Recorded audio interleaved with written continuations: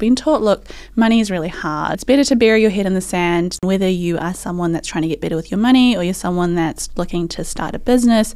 Um, never underestimate how much you can learn.